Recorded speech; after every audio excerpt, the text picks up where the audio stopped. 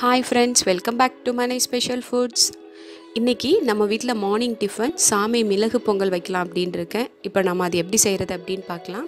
இங்கே பார்த்தீங்கன்னா நான் ஒரு குக்கர் எடுத்து வச்சுக்கிறேன்.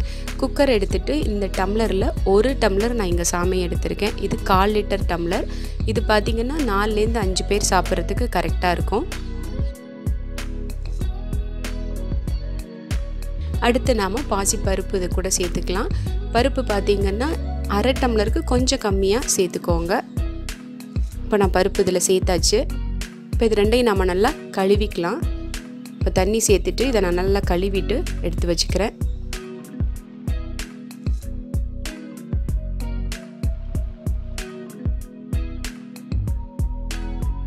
அடுத்து இப்போ இதுக்கு தேவையான அளவு தண்ணி நம்ம இப்போ இங்கே சேர்த்துக்கலாம்.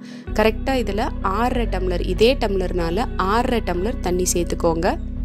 ஒன்று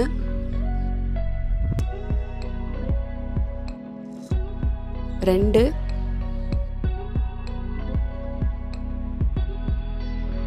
மூணு. நாலு.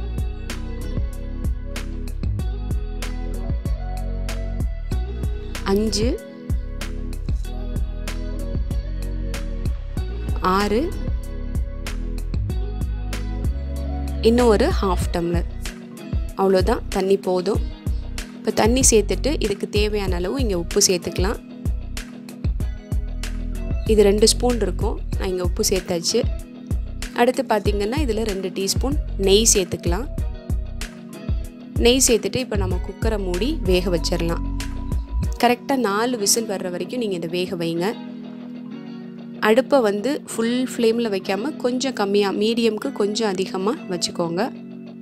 இப்போ நமக்கு குக்கர் விசில் வந்துருச்சு நாலு விசில். வந்ததும் நான் அடுப்பை ஆஃப் பண்ணிவிட்டு குக்கரை இறக்கி இங்கே வச்சுருக்கேன். இப்போ நாம் இந்த குக்கரில் இருக்கிற அந்த ஏர் ஃபுல்லாக அதுவாக ரிலீஸ் ஆகிற வரைக்கும் வெயிட் பண்ணாமல் நாம் இந்த மாதிரி ஸ்பூன் வச்சு நான் இந்த வெயிட்டை இப்படி மேலே தூக்கி வைக்கிறேன். இதில் உள்ள ஏர்லாம் நம்மளுக்கு ரிலீஸ் ஆகட்டும். இப்போ நாம் ஏர் ஃபுல்லாக ரிலீஸ் பண்ணியாச்சு. இப்போ நாம் இதை ஓப்பன் பண்ணி பார்க்கலாம். இப்போ நமக்கு சாமை வந்து ரொம்ப அழகாக வந்து கரெக்டான ஸ்டேஜில் இருக்குது இப்போ நாம் இதை தாளித்து எடுத்துக்கலாம்.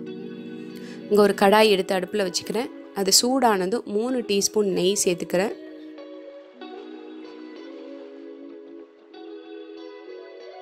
நெய் சூடானதும் ஒரு டீஸ்பூன் ஜீரகம் ஒரு டீஸ்பூன் மிளகு சேர்த்துக்கிறேன் இதில். இந்த ஜீரகமும் மிளகும் பொரிஞ்சதும் நான் இங்கே ஒரு பச்சை மிளகாய் எடுத்து வச்சுருக்கேன். இதை நம்ம இது கூட சேர்த்துக்கலாம்.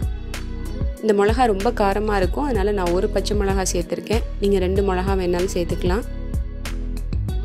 ரெண்டு கொத்து கருவேப்பிள்ளையில சேர்த்துக்கிறேன். அடுத்து கொஞ்சமாக பெருங்காயத்தூள் நம்ம இதில் சேர்த்துக்கலாம்.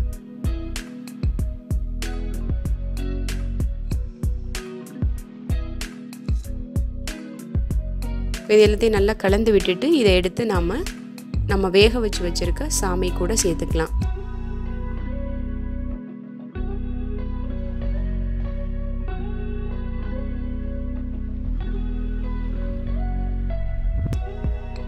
சேர்த்துட்டு இந்த மாதிரி நல்லா கலந்து விட்டுக்கோங்க. அவ்வளோதான். நமக்கு ரொம்ப சூப்பராக ஒரு ஹெல்த்தியான மார்னிங் டிஃபன் ரெடி ஆயிடுச்சு.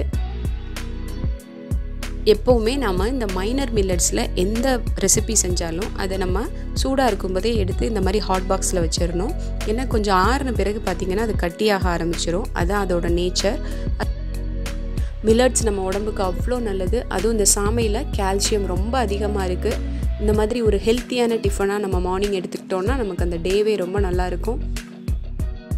இன்றைக்கி இந்த சாமை மிளகு பொங்கலுக்கு நான் இங்கே சின்ன வெங்காய சாம்பார் வச்சுருக்கேன். இது ரெண்டும் சேர்த்து சாப்பிட்டோம்னா அட்டகாசமாக இருக்கும். நீங்களும் இந்த சாமை மிளகு பொங்கல் ட்ரை பண்ணி பாருங்கள் பிடிச்சிருந்ததுன்னா மறக்காமல் மலை ஸ்பெஷல் ஃபுட்டுக்கு லைக் பண்ணுங்கள் இன்னும் சப்ஸ்கிரைப் பண்ணலன்னா சப்ஸ்கிரைப் பண்ணுங்கள் இதே மாதிரி வேறு ஒரு நல்ல ரெசிபியோட நம்ம அடுத்த வீடியோவில் பார்க்கலாம்.